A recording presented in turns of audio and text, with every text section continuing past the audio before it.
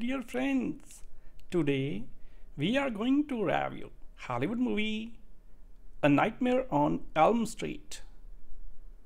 Platinum Dunes A Nightmare on Elm Street remake is a product more than a motion picture. The filmmakers take iconic imagery for Wes Craven's 1984 original and rehash it for a wooden audience, banking on the name brand recognition of Freddy Krueger and his murderous, knife-fingered exploits of the unconscious to draw audiences. So this is the same company that remade other such notable horror franchises such as the Amityville Horror, Friday the 13th, The Hitcher, and the Texas Chainsaw Massacre. They have no intention of making good movies, just selling enough tickets on opening weekends to generate a quick profit. So far, they have been successful. As a result of their objective, this remake comes off an exceedingly weak and unimaginative despite its potential. The movie changes around a few plot details from the original but then refuses to elaborate on the franchisee signature of elaborate dream imaginary laden deaths and so once more viewers see Freddy's glove emerge in the bathtub of heroine Nancy.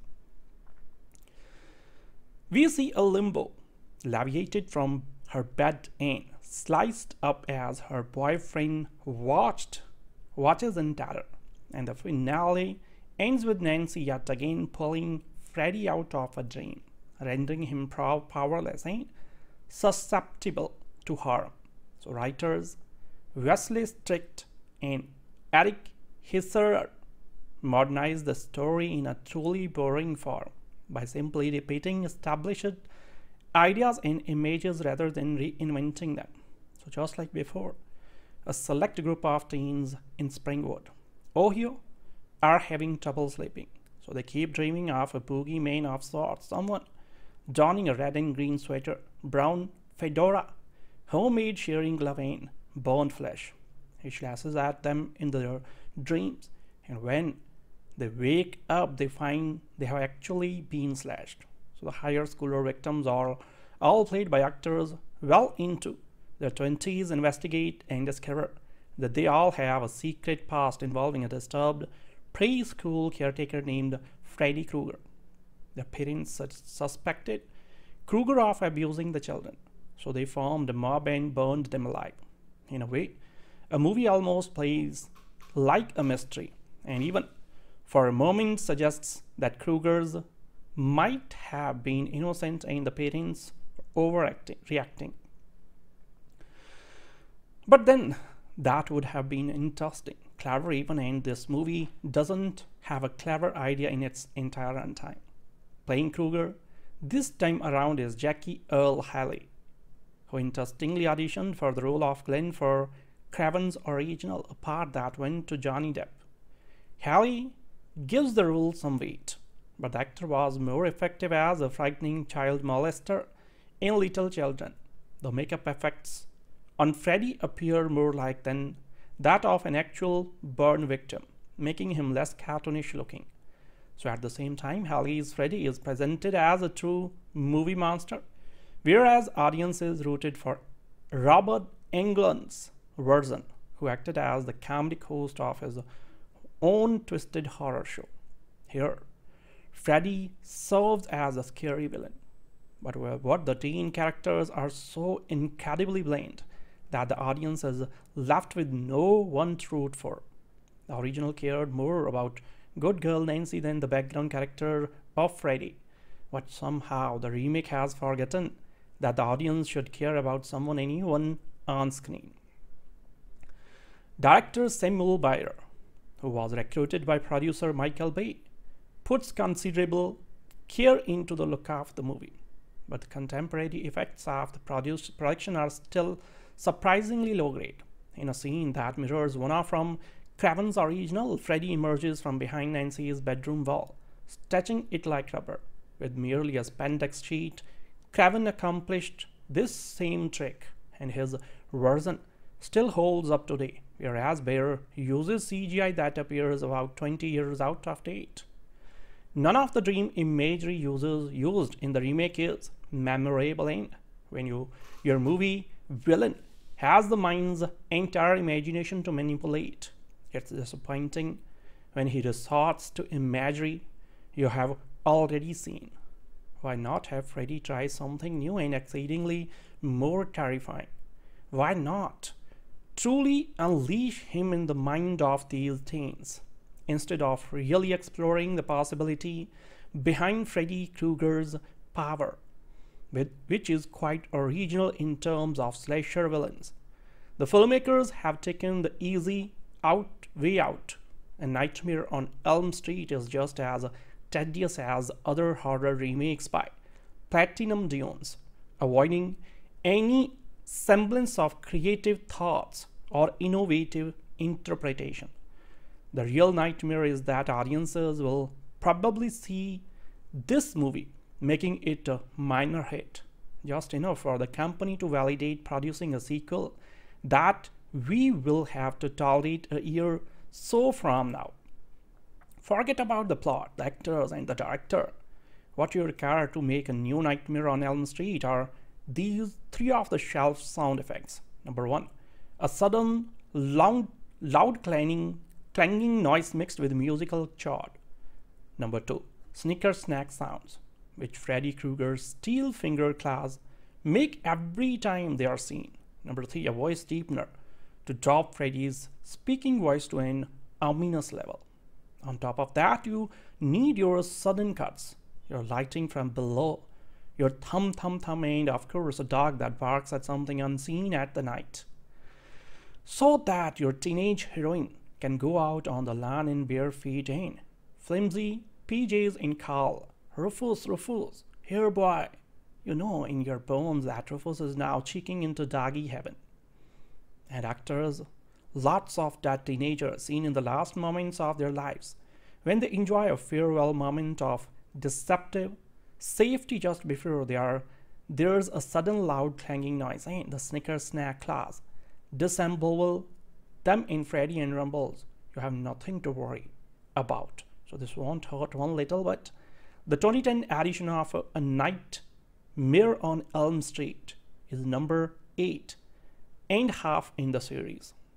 So I arrive at that number not out of desperate desire to be seeing the Fellini film instead, but because Freddy vs. Jason should be all fairness count for half a film on this list and a half a film on the Friday's Friday the 13th list. It is sad to think of all those dead teenagers.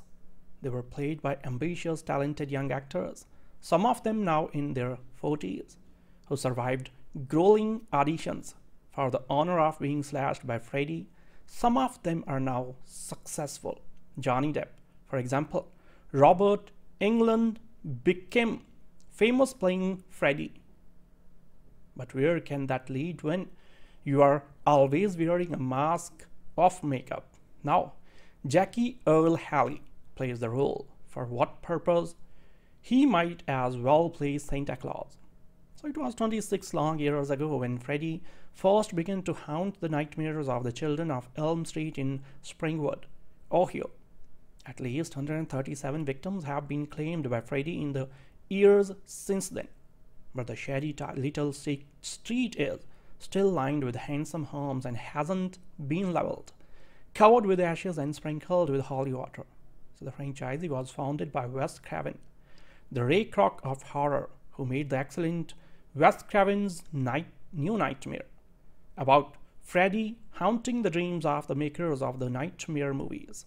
So Freddy is not a good argument for a supernatural existence. He can live inside wallpaper, appear anywhere and has no need of physical existence, except arguably when he inflicts actual physical damage. Yet, he's such a bore, always growling away with his deep-voiced ha ha ha ha. So if a man leads an interesting life, he ought to be able to make good conversation, is what I say. I started at start at a night nightmare on Elm Street with a weary resignation. The movie consists of a series of teenagers who are introduced haunted by nightmare and then slashed to death by Freddy. So what? Are you supposed to be scared? Is the sudden clanging shot supposed to evoke a fearful Pavlovian response? For Rufus, maybe, but not for me here, boy. To answer the most pressing question first, Jackie Earle Haley does succeed in making the Freddy Krueger character his own in the remake of A Nightmare on Elm Street. So the new movie would be nothing without the right man in the razor-fingered role that Robert Englund made famous. And Haley's characterization is a major asset in this mixed bag of reimagining. Freddy is no longer just the filthy child murderer or Wes Craven's 1984 classic but a perverted molester who once did awful things to the little students of unsubtlety named Badham preschool years ago. And the nightmare brings the uncomfortable themes simmering under the surface of Craven's movie to the forefront. So that makes it extra creepy as the horribly scared phantom pursues and taunts his children in their dreams and leads to an especially disturbing climactic encounter with teen heroine Nancy. Unfortunately, the film also tried to have it both ways in dealing with this theme, taking the unnecessary and unconvincing tack of having its leads suspect for a time that Freddy, who met his initial horrible end at the hands of vengeful parents, might have been innocent after all. Social relevance can always add some gra more gravitas to a horror movie, but this attempt is just distracting. Beyond these fresh concerns, the Nightmare uh, on Elm Street 2010 replicates most of the important beats from its predecessor, though it also takes a page from Nightmare 4 by starting off with its focus on one potential heroine switching between to another after that girl's horrible death. In other words, Kris the equivalent of the Craven film's Tina, is at the forefront for most of the first act, while Nancy plays secondary role. She is on hand for the first death though, working as a waitress in a dinner diner where sleep-deprived Dean apparently commits suicide in a spatially manner.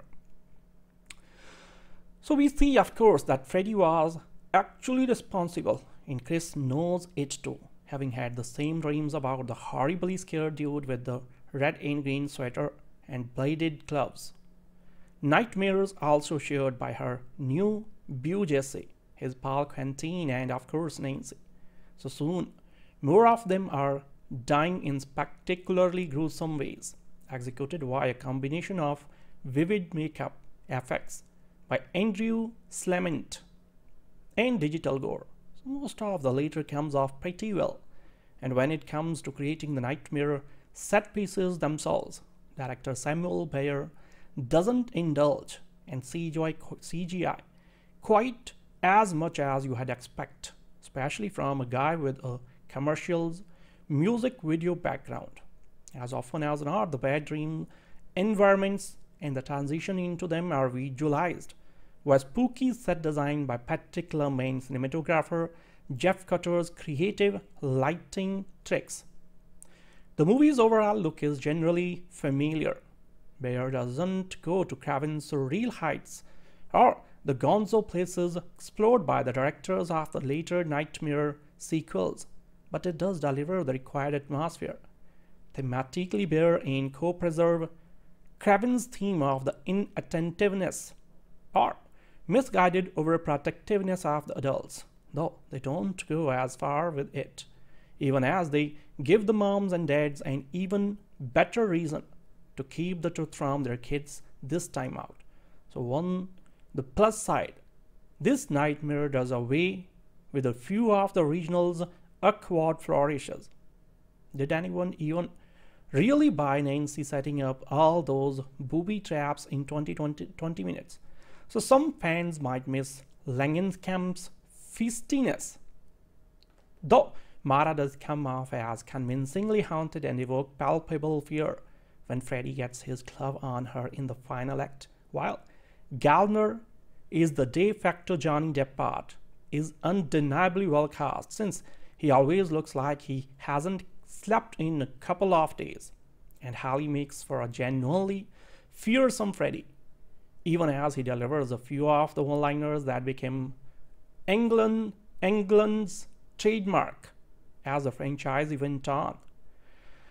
More than anything else in the new Nightmare on Elm Street, his reconceived Freddy justifies the revisiting of this material in a movie that there was really no pressing reason to make. Still, while it's not quite as satisfying overall as the new version of the Texas Chainsaw Massacre Dawn of the Dead or even this year's unpretentiously solid The Crazies, it's a darn sight better than the lamentable updates of Prom, Prom Night or Black Christmas or The Frog or the Friday 13th or.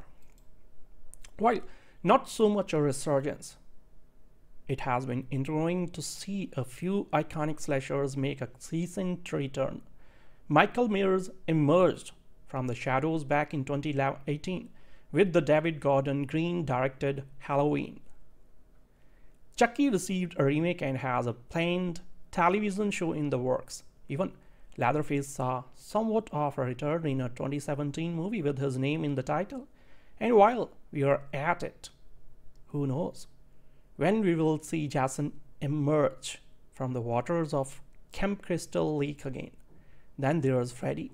Recently discussing the Boo crew chatted with actor Elijah Wood, and during their conversation, he mentioned an interest in potentially working on a new a Nightmare on Elm Street. On a fun side note, Dr. Sleep director Mike Flanagan has also expressed interest in providing his own spin on the slasher.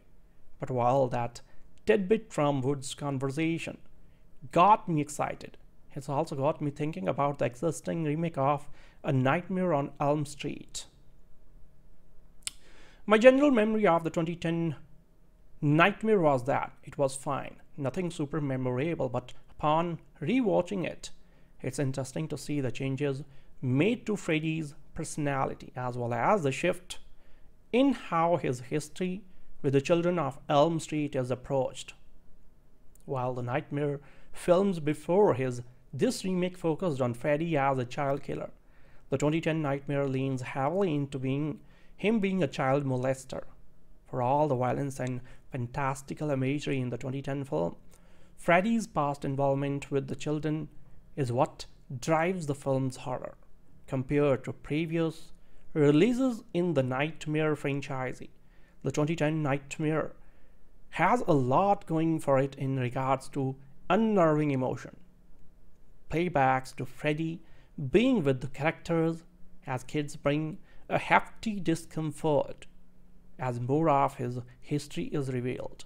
Like the first film in the franchise, the 2010 remake spends a good deal of time shifting between interactions with Freddy and the main characters, pursuing research about him what makes the 2010 film interesting, however, is how it seems to slightly lean more into the conspiracy surrounding parents and Freddy. For one, there is a decent level of conversation taking place between the central cast of teens and their parents, Nancy and Quentin. Confr confront Nancy's mom when they come across old photos of their childhood. So this alarms them because they do not have memories of meeting each other at such a young age. So after being pushed to explain, Nancy's mom says that the parents wanted to hide what Freddy did to them so they would not have to relieve that trauma. Now to be upfront, terms such as molestation are never explicitly stated, but the imagery is pretty forward in implying such notions. Though it doesn't delve too deeply in. This remake does make a thematic effort to convey a fear of trauma, the resistance of confronting the past, even as a fantastical being. Freddy comes across as a much more realistic horror in the remake. In a dream sequence where Quentin learns about how the parents killed Freddy, there is a brief line of dialogue between a, a few individuals where they debate trying to beat Freddy out of hiding by using, using fire. So the line in particular mentions the opposite of having their kids take a stand in court against Freddy. So rather than making their kids live through the potential trauma of a course court case, they end up killing Freddy themselves. And Freddy might the film briefly posits be innocent. So these alterations to Freddy and his backstory are the more only components that give the film a unique voice. Sorry. They allow the film to exude an unnerving air, fueling the 2010 nightmare with Dread. Not only does this new approach to Freddy's history bring an added horror to his character, but it builds upon the thematic exploration of the Nightmare franchise. There are multiple elements that pull directly from the original film, such as the subverting of who our protagonist is and other scene for scene similarities. And while the cast as a whole is nothing special, the main blow to this remake is that of Freddy's personality. Though I will say appearance wise, I think the 2010 Freddy has an interesting look going for him. Whereas we have always known Freddy through the voice and mannerisms of the great Robert Englund. 2010's Freddy is played by Jackie Earle Haley. As far as positives, I like Haley's voice in the film. But that's really as far as I can go with the praise. And to be clear, I don't think the fault lies entirely on Haley's shoulders. When we think of Freddy, from all his previous movies, one quality that quality that immediately comes to mind is his black humor. Englund delivery of goofy humor not only brought a, brought a likable appeal to the character, but also elevated his sense of twistedness. Haley's Freddy, however, barely attempts to follow uh, Englund's path, failing miserably when trying to emulate the latter's style. So this is because Haley's Freddy is much more sinister in delivery, losing much of that chilling playfulness and engulfs Freddy is known for. So his dialogue here is much more direct in the intention to cause harm rather than to toy with victims. So when we does attempt to try a goofy line, it feels out of place. And all of artists providing their own spin on an iconic character but the 2010 Freddy is a lackluster villain all around, even with his ability to hop into his victims' dreams. He comes across as a fairly ordinary bad guy due to his dull personality. So considering this portrayal of Freddy, the film is a much less spooky delight in comparison to the original entry, though its dark spin on Past trauma does allow it to have a unique identity along the franchisee. The main appeal should be Freddy and this Freddy is a nightmare the viewer could easily sleep through. So given that it has a decade since this film was released, it won't surprise me to see a Nightmare on Elm Street sometimes return sometimes in the near future. The more intriguing questions are 1. Who will take on the creative lead with the new film and 2. What will their spin be? It goes without saying that for many of us horror fans, Freddy has a special place among our hearts. And I had loved to see the character come back with a fresh, new approach to the classic material. If you have never seen the 2010 remake, I would only recommend it if you are morbidly curious. There are numerous entries from the franchise that stand on a higher pedestal than the 2010 title. However, I do have to give it to the film for its slightly more involved approach to confronting trauma on the, of the past. Had that component been explored to a large degree, I think the 2010 Nightmare on Elm Street could have been something a bit more special. After eight films cross nearly 30 years, I have finally arrived at the remake of A Nightmare on Elm Street in 2010.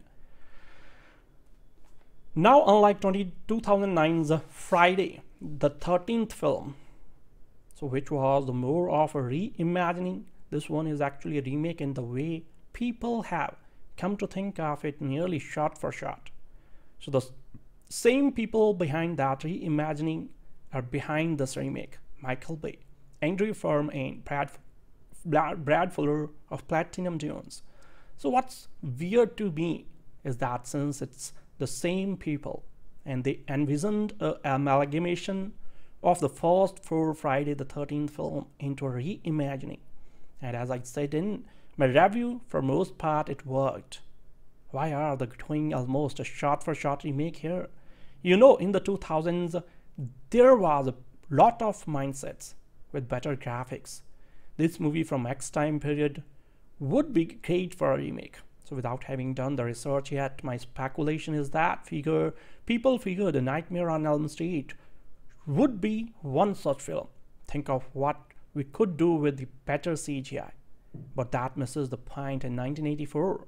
The practical special effect for the first film is what made that film and made the franchise is so memorable and 26 years later still hold up. They didn't need CGI. Horror movies in general don't need CGI. The practical special effects are fun, more, more fun, and come across better than CGI. I mean, one thing they do that is blasphemous to fans of the series is that they use CGI in conjunction with every with special effects makeup on Freddy Krueger's face to make it more like a burn victim's face. Now, I will admit, in some of the later films, there we get a lot of close-ups on Freddy Krueger's face. The practical special effects makeup isn't good. It's too rubbery and they're right. It doesn't look like a burn victim's face, but CGI, I can't abide by that. Platinum Dunes A Nightmare on Elm Street remake is a product more than a motion picture. The filmmakers take iconic imagery for Wes Craven's 1984 original and rehash it for a wooden audience, banking on the name brand recognition of Freddy Krueger and his murderous knife-fingered exploits of the unconscious to draw audiences. So this is the same company that remade other such notable horror franchises such as the Amityville Horror, Friday the 13th, The Hitcher, and the Texas Chainsaw Massacre. They have no intention of making good movies, just selling enough tickets on opening weekends to generate a quick profit. So far they have been successful as a result of their objective. This remake comes off an exceedingly weak and unimaginative despite its potential. The movie changes around a few plot details from the original but then refuses to elaborate on the franchisee signature of elaborate dream imaginary laden deaths and so once more, viewers see Freddy's glove emerge in the bathtub of heroine Nancy. We see a limbo laviated from her bed and sliced up as her boyfriend watched watches in terror. And the finale ends with Nancy yet again pulling Freddy out of a dream, rendering him powerless and susceptible to harm. So writers Wesley Strick and Eric Heisserer modernized the story in a truly boring form by simply repeating established ideas and images rather than reinventing them. So just like before, a select group of teens in Springwood, Ohio, are having trouble sleeping. So they keep dreaming of a boogeyman of sorts, someone donning a red and green sweater, brown fedora, homemade shearing glove and burned flesh. He slashes at them in their dreams, and when they wake up, they find they have actually been slashed. So the higher schooler victims are all played by actors well into their 20s investigate and discover that they all have a secret past involving a disturbed preschool caretaker named Freddy Krueger. The parents suspected Krueger of abusing the children, so they formed a mob and burned them alive. In a way, a movie almost plays like a mystery, and even for a moment suggests that Krueger's might have been innocent and the parents overacting, reacting. But then that would have been interesting, clever even, and this movie doesn't have a clever idea in its entire runtime. Playing Krueger this time around is Jackie Earle Haley, who interestingly auditioned for the role of Glenn for Craven's original, part that went to Johnny Depp. Haley gives the role some weight, but the actor was more effective as a frightening child molester in Little Children. The makeup effects on Freddy appear more like than that of an actual burn victim, making him less cartoonish looking. So at the same time, Haley's Freddy is presented as a true movie monster, whereas audiences rooted for Robert Englund's version who acted as the comedic host of his own twisted horror show. Here, Freddy serves as a scary villain. But what the teen characters are so incredibly bland that the audience is left with no one to root for. The original cared more about good girl Nancy than the background character of Freddy. But somehow the remake has forgotten that the audience should care about someone anyone on screen. Director Samuel Bayer, who was recruited by producer Michael Bay, puts considerable care into the look of the movie, but the contemporary effects of the produced production are still surprisingly low grade. In a scene that mirrors one from Craven's original, Freddy emerges from behind Nancy's bedroom wall, stretching it like rubber with merely a spandex sheet, Craven accomplished this same trick and his version still holds up today, whereas Bayer uses CGI that appears about 20 years out of date. None of the dream imagery uses used in the remake is memorable in when you your movie villain has the mind's entire imagination to manipulate. It's disappointing when he resorts to imagery you have already seen. Why not have Freddy try something new and exceedingly more terrifying? Why not truly unleash him in the mind of these teens instead of really exploring the possibility behind Freddy Krueger's power, which is quite original in terms of slasher villains. The filmmakers have taken the easy out way out. A Nightmare on Elm Street is just as tedious as other horror remakes by Platinum Dunes, avoiding any semblance of creative thoughts or innovative interpretation. The real nightmare is that audiences will probably see this movie making it a minor hit just enough for the company to validate producing a sequel that we will have to tolerate a year so from now. Forget about the plot, the actors, and the director. What you require to make a new Nightmare on Elm Street are these three off-the-shelf sound effects. Number one, a sudden loud, loud clanging, clanging noise mixed with musical chord. Number two, snicker snack sounds, which Freddy Krueger's steel finger claws make every time they are seen. Number three, a voice deepener to drop Freddy's speaking voice to an ominous level. On top of that, you need your sudden cuts, your lighting from below, your thumb, thumb, thumb, ain't of course a dog that barks at something unseen at the night. So that your teenage heroine can go out on the lawn in bare feet in flimsy PJs in call. Rufus, Rufus, here boy. You know in your bones that Rufus is now cheeking into doggy heaven. And actors, lots of that teenager seen in the last moments of their lives, when they enjoy a farewell moment of deceptive safety just before they are there's a sudden loud clanging noise in the snicker snack class disassemble them in Freddy and Rumbles. you have nothing to worry about. So this won't hurt one little bit. The 2010 edition of A Night Mirror on Elm Street is number 8 and half in the series. So I arrive at that number not out of desperate desire to be seeing the Fellini film instead, but because Freddy vs. Jason should be all fairness count for half a film on this list and a half a film on the Friday's Friday the 13th list. It is sad to think of all those dead teenagers. They were played by ambitious, talented young actors, some of them now in their 40s, who survived grueling auditions for the honor of being slashed by Freddy.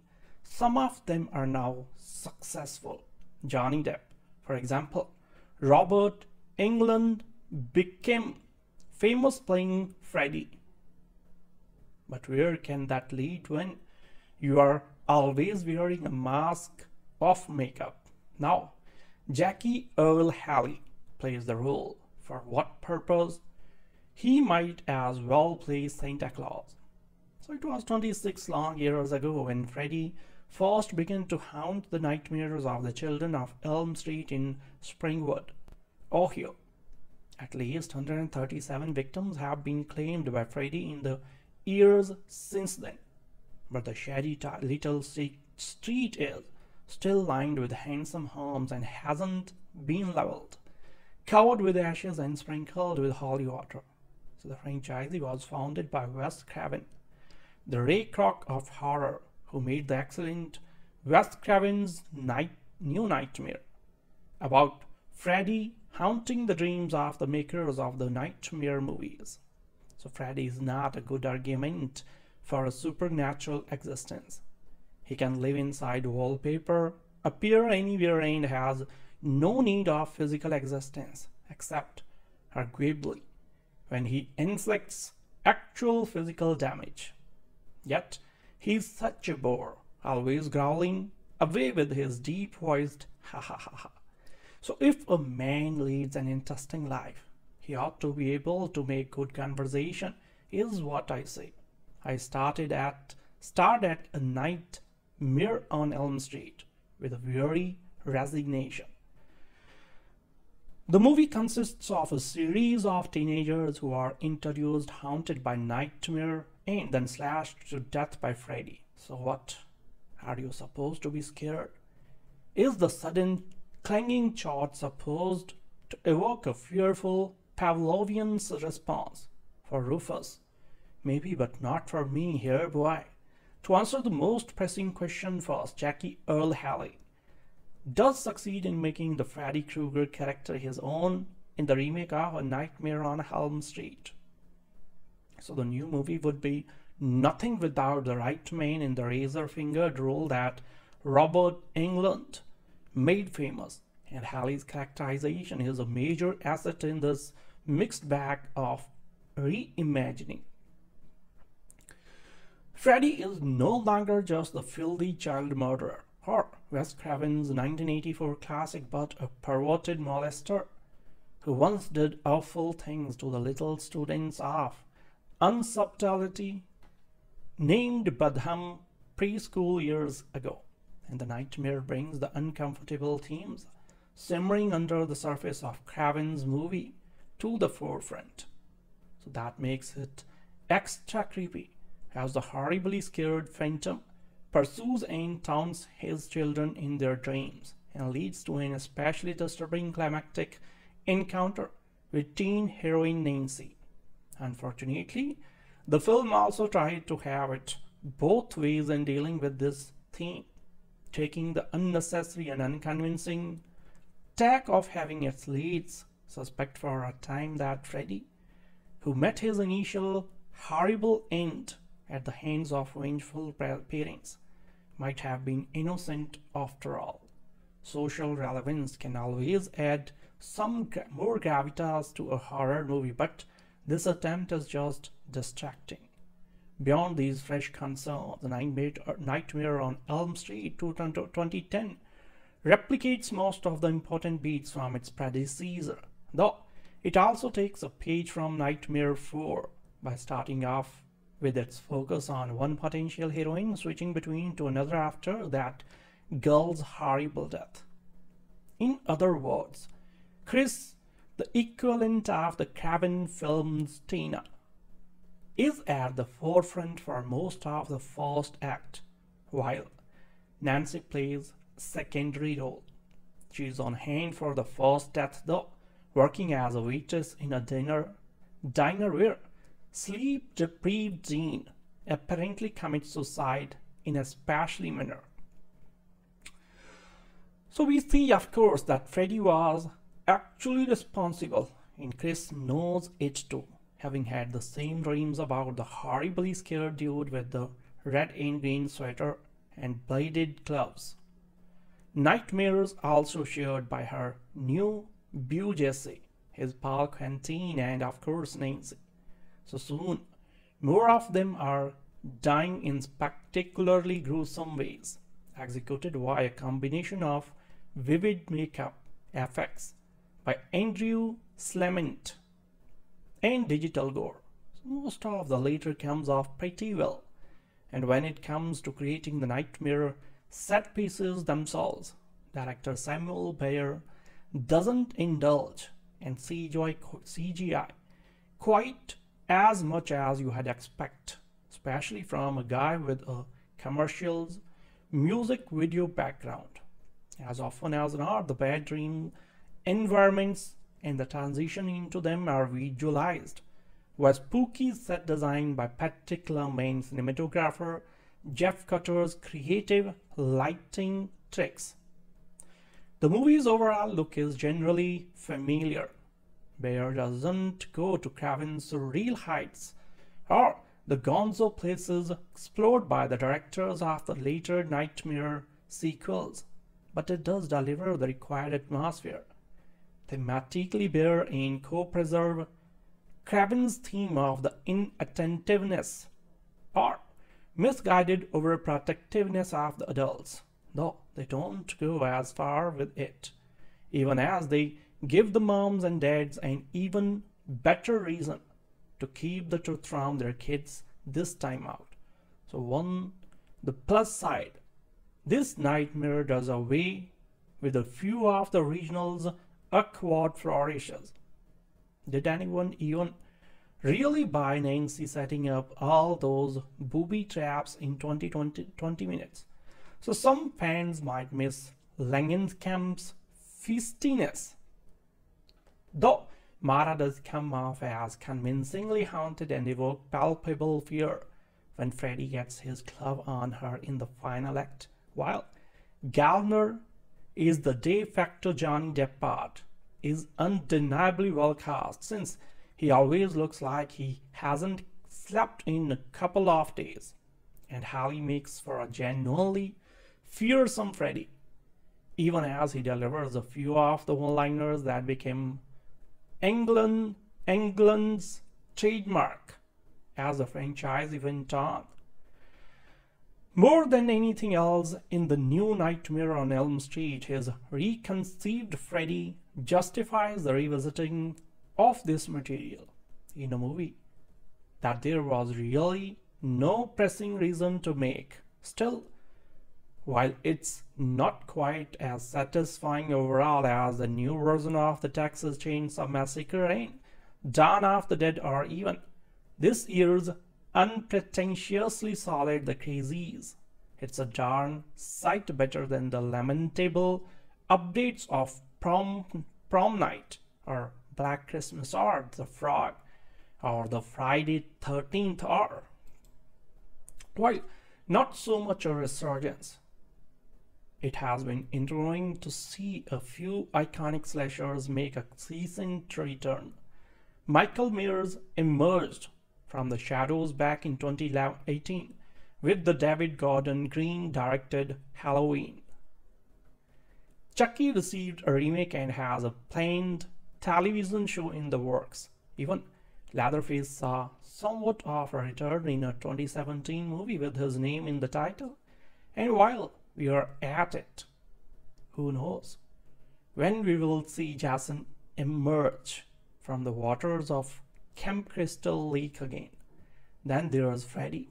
Recently discussing the Boo crew chatted with actor Elijah Wood, and during their conversation, he mentioned an interest in potentially working on a new a Nightmare on Elm Street. On a fun side note, Dr. Sleep director Mike Flanagan has also expressed interest in providing his own spin on the slasher. But while that tidbit from Wood's conversation got me excited, it's also got me thinking about the existing remake of A Nightmare on Elm Street. My general memory of the 2010 Nightmare was that it was fine, nothing super memorable, but upon rewatching it, it's interesting to see the changes made to Freddy's personality as well as the shift in how his history with the children of Elm Street is approached. While the Nightmare films before his, this remake focused on Freddy as a child killer. The 2010 Nightmare leans heavily into being him being a child molester. For all the violence and fantastical imagery in the 2010 film, Freddy's past involvement with the children is what drives the film's horror compared to previous releases in the Nightmare franchise. The 2010 Nightmare has a lot going for it in regards to unnerving emotion playbacks to Freddy being with the characters as kids bring a hefty discomfort as more of his history is revealed. Like the first film in the franchise, the 2010 remake spends a good deal of time shifting between interactions with Freddy and the main characters, pursuing research about him. So what makes the 2010 film interesting, however, is how it seems to slightly lean more into the conspiracy surrounding the parents and Freddy. For one, there is a decent level of conversation taking place between the central cast of teens and their parents, Nancy and Quentin. Confront, Nancy's mom when they come across old photos of their childhood. So this alarms them because they do not have memories of meeting each other at such a young age. So after being pushed to explain, Nancy's mom says that the parents wanted to hide what Freddy did to them so they would not have to relieve that trauma. Now to be upfront, terms such as molestation are never explicitly stated, but the imagery is pretty forward in implying such notions. Though it doesn't delve too deeply in, this remake does make a thematic effort to convey a fear of trauma, the resistance of confronting the past, even as a fantastical being. Freddy comes across as a much more realistic horror in the remake. In a dream sequence where Quentin learns about how the parents killed Freddy, there's a brief line of dialogue between a, a few individuals where they debate trying to bait Freddy out of hiding by using a using fire. So the line in particular mentions the opposite of having their kids take a stand in court against Freddy. So rather than making their kids live through the potential trauma of a course court case, they end up killing Freddy themselves. And Freddy might the film briefly posits be innocent. So these alterations to Freddy and his backstory are the more only components that give the film a unique voice. Sorry. They allow the film to exude an unnerving air, fueling the 2010 nightmare with dread. Not only does this new approach to Freddy's history bring an added horror to his character, but it builds upon the thematic exploration of the Nightmare franchise. There are multiple elements that pull directly from the original film, such as the subverting of who our protagonist is and other scene for scene similarities. And while The cast as a whole is nothing special. The main blow to this remake is that of Freddy's personality. Though I will say appearance wise, I think the 2010 Freddy has an interesting look going for him. Whereas we have always known Freddy through the voice and mannerisms of the great Robert Englund. 2010's Freddy is played by Jackie Earle Haley. As far as positives, I like Haley's voice in the film. But that's really as far as I can go with the praise. And to be clear, I don't think the fault lies entirely on Haley's shoulders. When we think of Freddy, from all his previous movies, one quality that quality that immediately comes to mind is his black humor. Englund delivery of goofy humor not only brought a brought a likable appeal to the character, but also elevated his sense of twistedness. Haley's Freddy, however, barely attempts to follow uh, Englund's path, failing miserably when trying to emulate the later's style. So this is because Haley's Freddy is much more sinister in delivery, losing much of that chilling playfulness Englund's Freddy is known for. So his dialogue here is much more direct in the intention to cause harm rather than to toy with victims. So when we does attempt to try a goofy line, it feels out of place and all of artists providing their own spin on an iconic character. But the 2010 Freddy is a lackluster villain all around, even with his ability to hop into his victim's dreams. He comes across as a fairly ordinary bad guy due to his dull personality. So considering this portrayal of Freddy, the film is a much less spooky delight in comparison to the original entry, though its dark spin on past trauma does allow it to have a unique identity along the franchisee. The main appeal should be Freddy and this Freddy is a nightmare the viewer could easily sleep through. So given that it has a decade since this film was released, it won't surprise me to see a Nightmare on Elm Street sometimes return sometimes in the near future. The more intriguing questions are 1. Who will take on the creative lead with the new film? And 2. What will their spin be? It goes without saying that for many of us horror fans, Freddy has a special place among our hearts.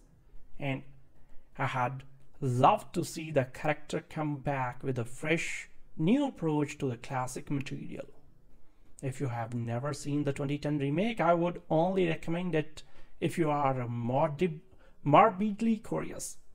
There are numerous entries from the franchise that stand on a higher pedestal than the 2010 title. However, I do have to give it to the film for its slightly more involved approach to confronting trauma on the, of the past. Had that component been explored to a large degree, I think the 2010 Nightmare on Elm Street could have been something a bit more special. After eight films cross nearly 30 years, I have finally arrived at the remake of A Nightmare on Elm Street in 2010. Now, unlike 20, 2009's Friday, the 13th film, so which was the more of a reimagining, this one is actually a remake in the way people have come to think of it nearly shot for shot. So the same people behind that reimagining are behind this remake. Michael Bay, Andrew Form, and Brad, Brad Fuller of Platinum Dunes. So what's weird to me is that since it's the same people and they envisioned an amalgamation of the first four Friday the 13th film into reimagining. And as I said in my review, for most part it worked. Why are they doing almost a shot for shot remake here? You know, in the 2000s, there was a lot of mindsets with better graphics. This movie from X time period would be great for a remake. So without having done the research yet, my speculation is that figure people figure the Nightmare on Elm Street would be one such film. Think of what we could do with the better CGI. But that misses the point in 1984. The practical special effect for the first film is what made that film and made the franchise is so memorable and 26 years later still hold up. They didn't need CGI. Horror movies in general don't need CGI. The practical special effects are fun, more, more fun, and come across better than CGI. I mean, one thing they do that is blasphemous to fans of the series is that they use CGI in conjunction with every with special effects makeup on Freddy Krueger's face to make it more like a burn victim's face. Now, I will admit, in some of the later films, where we cut a lot of close-ups on Freddy Krueger's face, the practical special effects makeup isn't good. It's too rubbery and they're right. It doesn't look like a burn victim's face, but CGI, I can't abide by that. Platinum Dunes A Nightmare on Elm Street remake is a product more than a motion picture. The filmmakers take iconic imagery for Wes Craven's 1984 original and rehash it for a wooden audience, banking on the name brand recognition of Freddy Krueger and his murderous, knife-fingered exploits of the unconscious to draw audiences. So this is the same company that remade other such notable horror franchises such as the Amityville Horror, Friday the 13th, The Hitcher, and the Texas Chainsaw Massacre. They have no intention of making good movies, just selling enough tickets on opening weekends to generate a quick profit. So far, they have been successful. As a result of their objective, this remake comes off an exceedingly weak and unimaginative despite its potential the movie changes around a few plot details from the original but then refuses to elaborate on the franchisee signature of elaborate dream imaginary laden deaths and so once more viewers see Freddy's glove emerge in the bathtub of heroine Nancy. We see a limbo laviated from her bed and sliced up as her boyfriend watched watches in terror, and the finale ends with Nancy yet again pulling Freddy out of a dream, rendering him powerless and susceptible to harm. So writers Wesley Strick and Eric Heisserer modernized the story in a truly boring form by simply repeating established ideas and images rather than reinventing them. So just like before, a select group of teens in Springwood, Ohio are having trouble sleeping. So they keep dreaming of a boogeyman of sorts, someone donning a red and green sweater, brown fedora, homemade shearing glove and burned flesh. He slashes at them in their dreams, and when they wake up, they find they have actually been slashed. So the higher schooler victims are all played by actors well into their 20s, investigate and discover that they all have a secret past involving a disturbed preschool caretaker named Freddy Krueger. The parents suspected Krueger of abusing the children, so they formed a mob and burned them alive. In a way, a movie almost plays like a mystery, and even for a moment suggests that Krueger's might have been innocent and the parents overacting, reacting. But then that would have been interesting, clever even, and this movie doesn't have a clever idea in its entire runtime. Playing Krueger this time around is Jackie Earle Haley, who interestingly auditioned for the role of Glenn for Craven's original, part that went to Johnny Depp. Haley gives the role some weight, but the actor was more effective as a frightening child molester in Little Children. The makeup effects on Freddy appear more like than that of an actual burn victim, making him less cartoonish looking. So at the same time, Haley's Freddy is presented as a true movie monster, whereas audiences rooted for Robert Englund's version who acted as the comedy host of his own twisted horror show. Here, Freddy serves as a scary villain, but what the teen characters are so incredibly bland that the audience is left with no one to root for. The original cared more about good girl Nancy than the background character of Freddy, but somehow the remake has forgotten that the audience should care about someone anyone on screen. Director Samuel Bayer, who was recruited by producer Michael Bay, puts considerable care into the look of the movie, but the contemporary effects of the produced production are still surprisingly low grade. In a scene that mirrors one from Craven's original, Freddy emerges from behind Nancy's bedroom wall, stretching it like rubber. With merely a spandex sheet, Craven accomplished this same trick, and his version still holds up today, whereas Bayer uses CGI that appears about 20 years out of date. None of the dream imagery uses used in the remake is memorable and when you your movie villain has the mind's entire imagination to manipulate. It's disappointing when he resorts to imagery you have already seen. Why not have Freddy try something new and exceedingly more terrifying? Why not truly unleash him in the mind of these teens instead of really exploring the possibility behind Freddy Krueger's power, which is quite original in terms of slasher villains. The filmmakers have taken the easy out way out. A Nightmare on Elm Street is just as tedious as other horror remakes by Platinum Dunes, avoiding any semblance of creative thoughts or innovative interpretation. The real nightmare is that audiences will probably see this movie making it a minor hit, just enough for the company to validate producing a sequel that we will have to tolerate a year so from now. Forget about the plot, the actors, and the director. What you require to make a new Nightmare on Elm Street are these three off-the-shelf sound effects. Number one, a sudden, loud, loud clanging, clanging noise mixed with musical chord. Number two, snicker snack sounds, which Freddy Krueger's steel finger claws make every time they are seen. Number three, a voice deepener to drop Freddy's speaking voice to an ominous level. On top of that, you need your sudden cuts, your lighting from below, your thumb thumb thumb ain't of course a dog that barks at something unseen at the night. So that your teenage heroine can go out on the lawn in bare feet and flimsy PJs and call, Rufus, Rufus, here boy, you know in your bones that Rufus is now cheeking into doggy heaven. And actors, lots of that teenagers seen in the last moments of their lives, when they enjoy a farewell moment of deceptive safety just before they are, there's a sudden loud clanging noise and the snicker snack class. Disassemble them in Freddy and Rumbles. You have nothing to worry about. So this won't hurt one little, bit. the 2010 edition of A Nightmare on Elm Street is number 8 and half in the series.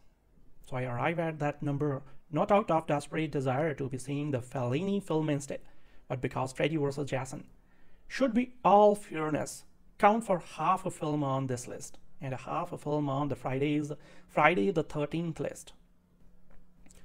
It is sad to think of all those dead teenagers. They were played by ambitious, talented young actors, some of them now in their 40s who survived grueling auditions for the honor of being slashed by Freddy. Some of them are now successful. Johnny Depp, for example, Robert Englund became famous playing Freddy.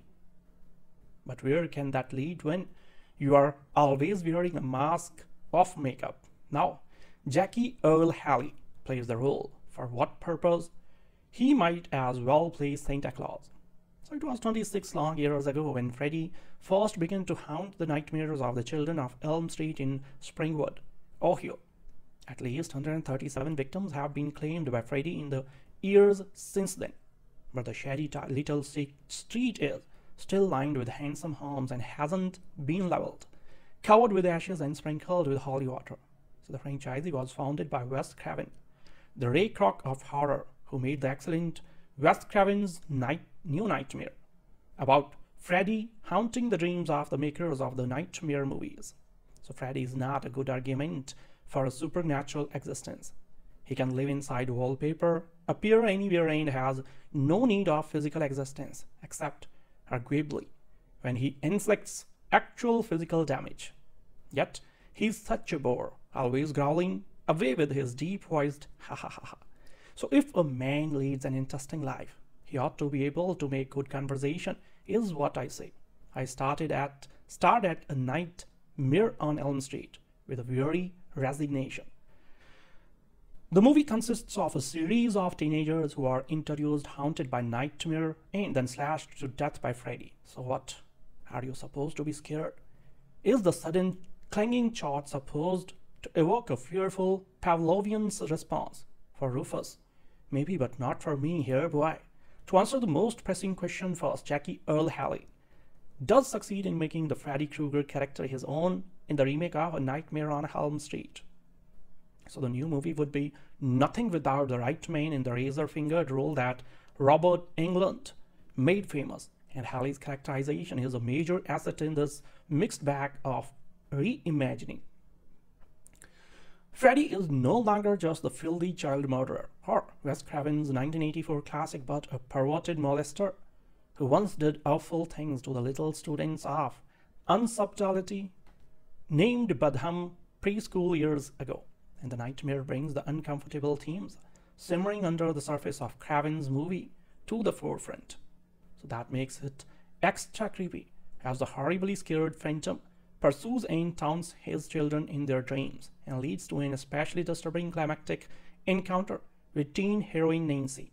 Unfortunately, the film also tried to have it both ways in dealing with this theme, taking the unnecessary and unconvincing tack of having its leads suspect for a time that Freddy, who met his initial horrible end at the hands of vengeful parents, might have been innocent after all. Social relevance can always add some more gravitas to a horror movie, but this attempt is just distracting. Beyond these fresh concerns, the Nightmare uh, on Elm Street 2010 replicates most of the important beats from its predecessor, though it also takes a page from Nightmare 4 by starting off with its focus on one potential heroine switching between to another after that girl's horrible death. In other words, Kris, the equivalent of the Craven film's Tina, is at the forefront for most of the first act, while Nancy plays secondary role. She is on hand for the first death though, working as a waitress in a dinner diner where sleep-deprived Dean apparently commits suicide in a splashy manner. So we see, of course, that Freddy was actually responsible, and Kris knows it too, having had the same dreams about the horribly scared dude with the red and green sweater and bladed gloves. Nightmares also shared by her new beau Jesse, his pal Quentin, and of course Nancy. So soon, more of them are dying in spectacularly gruesome ways, executed by a combination of vivid makeup effects by Andrew Clement and digital gore. So most of the later comes off pretty well. And when it comes to creating the nightmare set pieces themselves, director Samuel Bayer doesn't indulge in CGI, CGI quite as much as you had expect especially from a guy with a commercials music video background.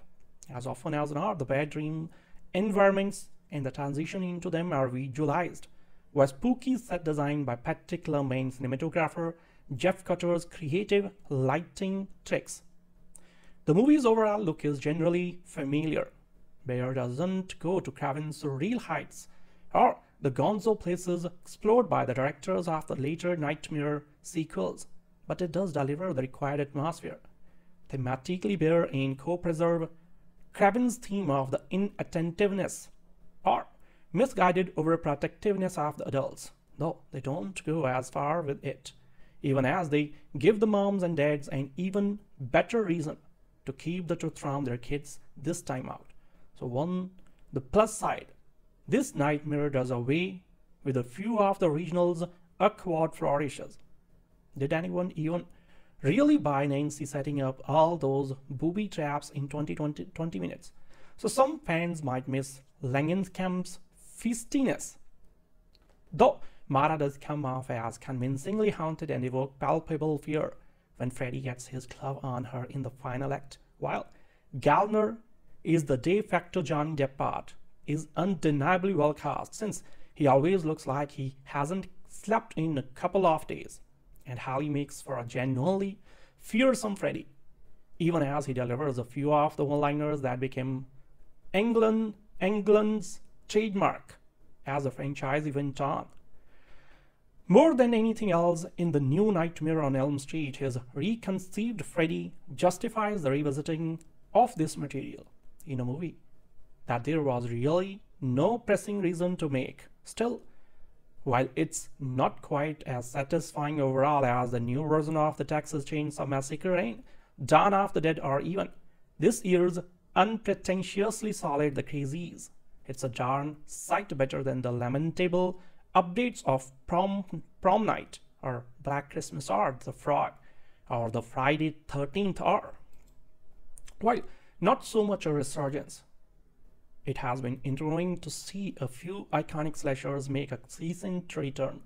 Michael Myers emerged from the shadows back in 2018 with the David Gordon Green directed Halloween.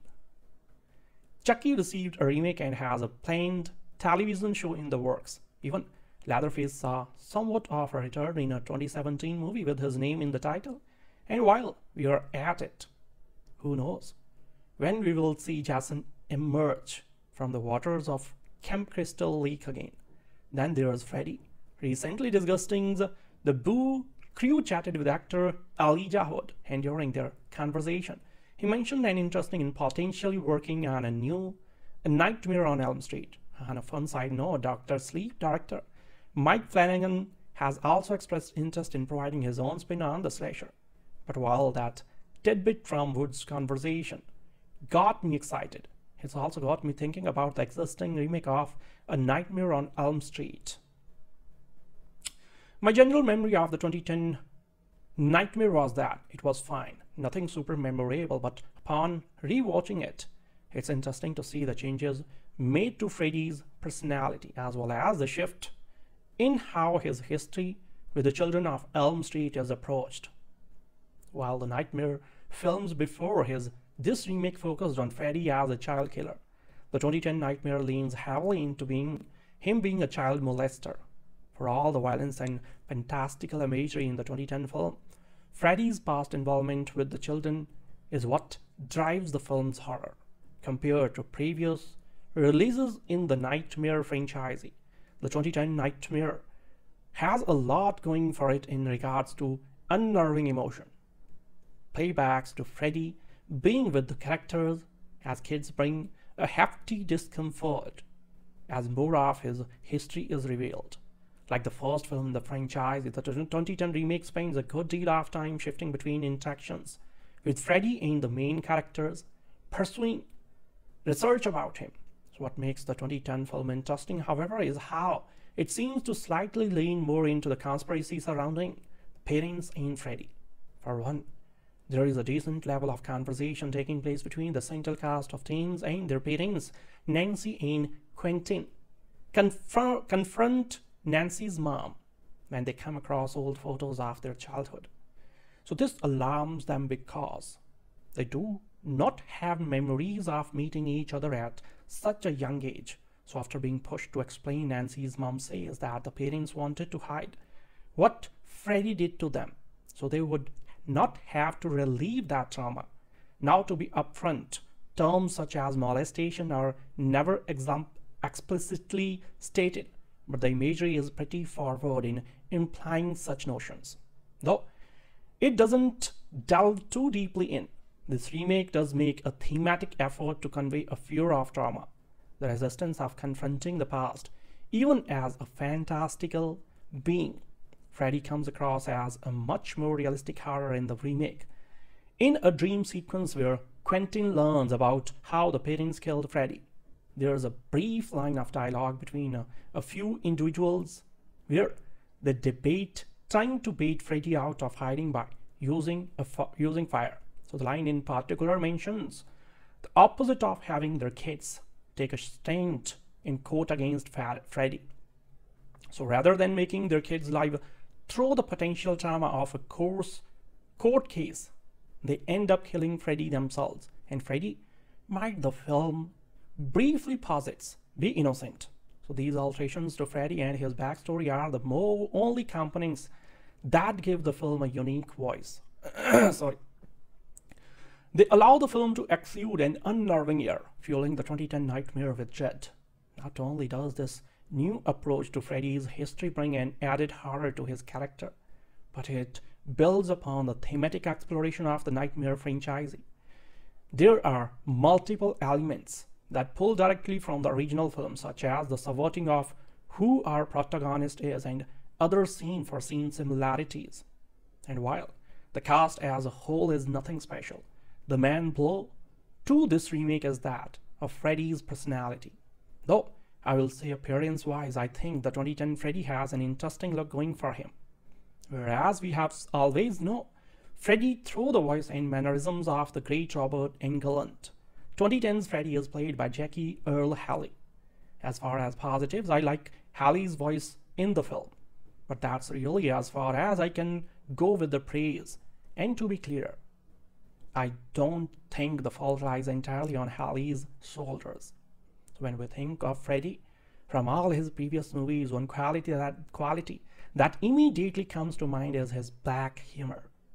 Englund delivery of goofy humor not only brought a, brought a likable appeal to the character, but also elevated his sense of twistedness Haley's Freddy, however, barely attempts to follow uh, Englund's path, failing miserably when trying to emulate the latter's style. So this is because Haley's Freddy is much more sinister in delivery, losing much of that chilling playfulness Englund's Freddy is known for. So his dialogue here is much more direct in the intention to cause harm rather than to toy with victims. So when we does attempt to try a goofy line, it feels out of place and all of artists providing their own spin on an iconic character. But the 2010 Freddy is a lackluster villain all around, even with his ability to hop into his victims' dreams. He comes across as a fairly ordinary bad guy due to his dull personality. So considering this portrayal of Freddy, the film is a much less spooky delight in comparison to the original entry, though its dark spin on past trauma does allow it to have a unique identity along the franchisee.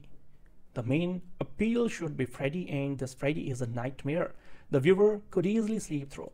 So given that it has a decade since this film was released, it won't surprise me to see a Nightmare on Elm Street sometimes return sometimes in the near future. The more intriguing questions are 1. Who will take on the creative lead with the new film? And 2. What will their spin be? It goes without saying that for many of us horror fans, Freddy has a special place among our hearts.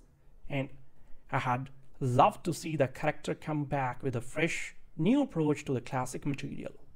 If you have never seen the 2010 remake, I would only recommend it if you are a morbid, morbidly curious. There are numerous entries from the franchise that stand on a higher pedestal than the 2010 title. However, I do have to give it to the film for its slightly more involved approach to confronting trauma on the, of the past. Had that component been explored to a large degree, I think the 2010 Nightmare on Elm Street could have been something a bit more special. After eight films cross nearly 30 years, I have finally arrived at the remake of A Nightmare on Elm Street in 2010. Now, unlike 20, 2009's Friday, the 13th film, so which was the more of a reimagining, this one is actually a remake in the way people have come to think of it nearly shot for shot. So the same people behind that reimagining are behind this remake. Michael Bay, Andrew Form, and Brad, Brad Fuller of Platinum Dunes. So what's weird to me is that since it's the same people and they envisioned an amalgamation of the first four Friday the 13th film into a reimagining. And as I said in my review, for most part it worked. Why are they doing almost a shot-for-shot -shot remake here? You know, in the 2000s, there was a lot of mindsets with better graphics. This movie from X time period would be great for a remake. So without having done the research yet, my speculation is that figure people figure the Nightmare on Elm Street would be one such film. Think of what we could do with the better CGI. But that misses the point in 1984. The practical special effect for the first film is what made that film and made the franchise so memorable and 26 years later still hold up. They didn't need CGI. Horror movies in general don't need CGI. The practical special effects are fun, more, more fun, and come across better than CGI. I mean, one thing they do that is blasphemous to fans of the series is that they use CGI in conjunction with every with special effects makeup on Freddy Krueger's face to make it more like a burn victim's face. Now, I will admit, in some of the later films, there we cut a lot of close-ups on Freddy Krueger's face. The practical special effects makeup isn't good. It's too rubbery and they're right. It doesn't look like a burn victim's face, but CGI, I can't abide by that.